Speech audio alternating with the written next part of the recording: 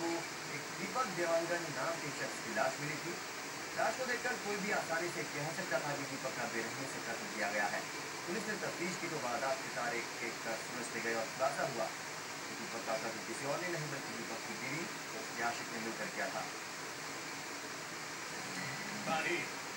चार मई दो हज़ार चौदह इसी तारीख कोरबा के रहने वाले दीपक देवांगन का शव चिरमिरी के दो नदी रोड पर मिला शव की हालत देखकर साफ़ था कि किसी ने सिर पर मारकर उसकी हत्या की है।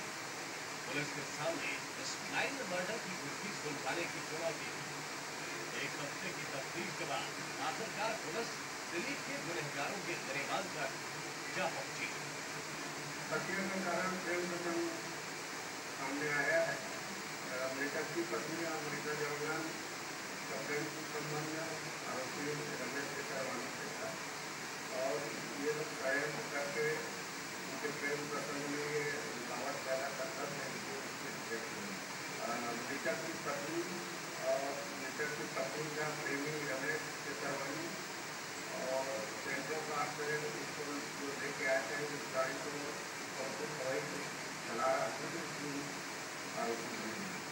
पुलिस की तफ्तीश में जिन गुनहगारों के चेहरे सामने आए हैं, वो भी आप देख लीजिए ये है अमृता देवांगन दीपक देवांगन की पत्नी इसकी शादी करीब 10 बरस पहले दीपक से हुई थी लेकिन इसी बीच अमृता के नाजायज ताल्लुक रमेश केसरवानी से हो गए। और इसके बाद चार तारीख को इन दोनों ने मिलकर दीपक को मौत के घाट उतार दिया और सेंट्रो गार्ड से उसके शव को चिरमिरी के दो महीन रोड पर फेंक कर फरार हो गए। पुलिस ने तीनों को गिरफ़्तार कर लिया, लेकिन आरोपी अमृता और रमेश न तो ये मानने को तैयार है कि दीपक का तत्व उन्होंने किया और न ही ये कि उनके बीच नाजायज संबंध थे तो प्रेम पत्नी से पता चला तो उनकी हत्या हुई है आपके पति से क्या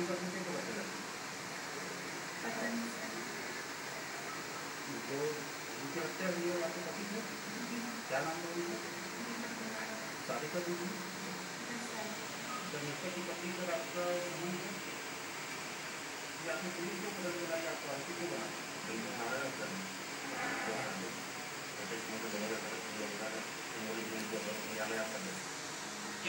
के दोनों आरोपी वारदात की जानकारी तक से इनकार कर रहे हैं। लेकिन पुलिस या तफ्तीश इन्हें गुनहगार बता रही है। अब मौके से मिले सबूतों और पुलिसिया पड़ताल के आधार पर इनके गवाहों का फैसला अदालत को करना है। Jagjit Singh ji media, Korea.